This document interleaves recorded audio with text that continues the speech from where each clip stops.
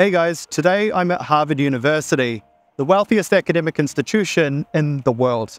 They manage a fortune of over $50 billion, and where it's invested will blow you away. There is a massive financial engine at work behind these walls. So you might be wondering, how does Harvard invest such a massive endowment? And more importantly, what do they do with all of that money? Well, it's far more sophisticated than simply keeping the money in the bank.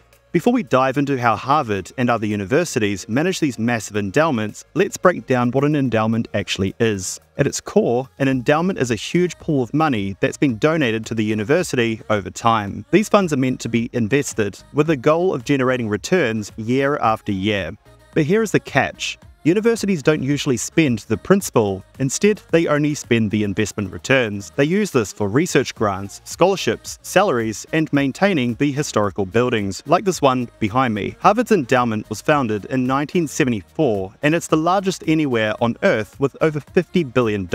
That's twice the size of New Zealand's sovereign wealth fund and half the size of the total stock market. This enormous financial resource allows Harvard to fund not only its current programs, but also its future initiatives ensuring the university's mission continues for generations. You might ask, why does a university need so much money? Well, endowments are critical for a university's long term sustainability. They help universities weather economic downturns, maintain financial aid programs, and continue groundbreaking research, regardless of what's happening in the market. Over half of Harvard's undergraduates receive financial aid. Much of this is thanks to these investments. In essence, an endowment is like a university's financial backbone. It's very similar to why many countries countries have sovereign wealth funds, and even cities like Auckland have started their own called the Future Fund. Managing an endowment isn't just about putting money in stocks or bonds. Harvard, like other top universities, takes a sophisticated approach to investing. They take one that rivals some of the biggest hedge funds and private equity firms. At Harvard, the endowment is managed by the Harvard Management Company. This organization is essentially a multi billion dollar investment firm dedicated to managing Harvard's funds. It's staffed with some of the brightest minds in finance, many of which came from a hedge fund or asset management background. Their job job is to balance risk and reward, ensuring the endowment grows over time while maintaining enough liquidity to meet the university's needs. Just like individual investors, Harvard's endowment is spread across different asset classes to balance growth and risk. In 2023, Harvard had a whopping 70% of its funds invested in private equity and hedge fund assets. This was followed by just 11% being invested in regular stocks you can pick up on the stock exchange. There is a further 5% invested in real estate. Even down in New Zealand, Harvard is the second largest owner of forests. They've also ventured into farming, owning over 5,000 cows and 8,500 acres of farmland. So Harvard is definitely investing at another level to regular investors. Another key part of their strategy is diversification. Harvard's investments span multiple sectors including technology, healthcare, real estate, among many others, and these are spread all across the globe. This reduces the risk of relying too heavily on any one sector or region. While Harvard has a talented in house team, they also partner with external fund managers who specialize in areas like private equity or emerging markets. These partnerships allow the endowment to tap into expertise and opportunities that might be beyond the reach of their internal team. But with large investments comes large risk. Endowment managers have to be prepared for economic downturns like the 2008 financial crisis, which hit Harvard hard. After losing billions in the crash, Harvard had to reassess its risk management strategy, leading to more conservative cash reserves and a greater emphasis on liquidity. Despite market challenges, Harvard's endowment has consistently delivered strong returns, averaging around 10% annually in recent years. So as you can see, managing a multi-billion dollar endowment like Harvard's is a complex operation.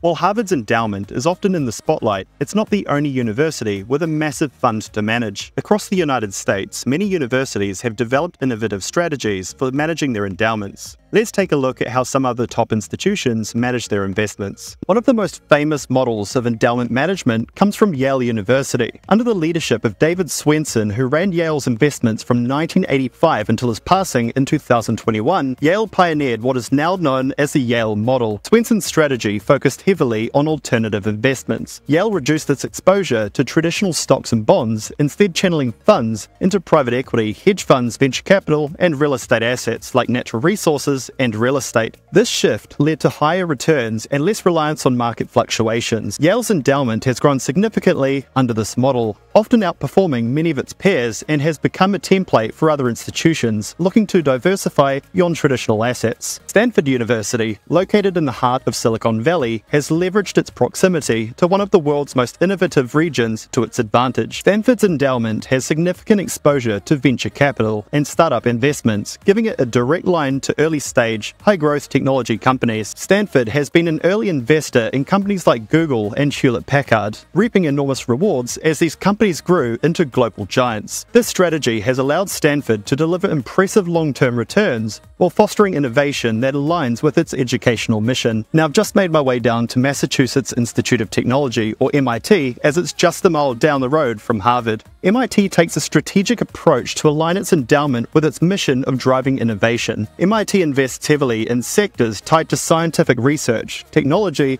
and healthcare. These are areas where the university itself is a global leader. What sets MIT apart is its focus on intellectual property and startups. The endowment supports companies and research born out of MIT's labs, giving it a unique edge in commercializing groundbreaking discoveries. These investments can often result in spin offs that can yield significant financial returns while pushing the boundaries of innovation. While university endowments like Harvard's are impressive financial engines, they aren't without their share of challenges and criticisms. Let's take a closer look at some of the key concerns surrounding the management of these vast funds. One of the most significant criticisms levied against large university endowments is the fact that they are tax exempt. Despite managing billions of dollars in assets and generating millions of returns every single year, these endowments are largely shielded from paying federal taxes. Critics argue that institutions with such vast wealth should contribute more in public coffers. This has led to discussions about introducing a wealth tax on large university endowments. Harvard, with its $50 billion plus endowment, is often at the centre of this debate.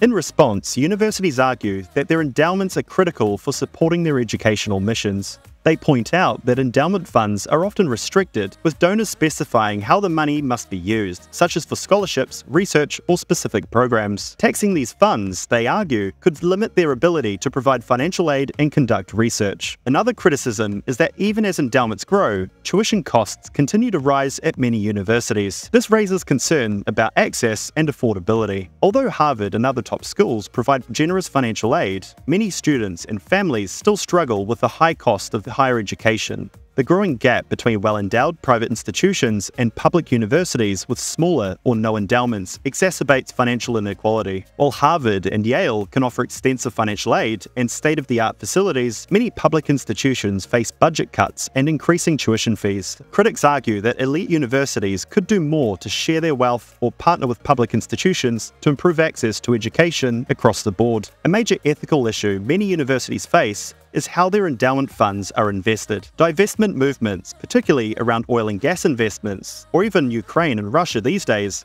have gained momentum across many campuses, including Harvard. In 2021, after years of pressure, Harvard announced that it would divest from fossil fuels, committing to transition its portfolio away from oil and gas companies. While this was a victory for environmental activists, some argued that it took too long for such an influential institution to make this move. Beyond fossil fuels, universities also face pressure to consider the social and ethical implications of their other investments. This includes private prisons, arms manufacturing, or companies with poor labour practices. Balancing the need for high returns with ethical considerations remains a contentious issue. Endowment funds also have an issue of managing liquidity. While they are investing for the long term, they also need to ensure they have enough liquid assets to fund their scholarships, research, and operations. Beyond the direct benefits to students, the scale of university endowments also has a broader economic impact. With billions of dollars under management, these funds are significant players in the global financial markets. Their investments span a wide range of asset classes, including public equities, real estate, venture capital, and private equity.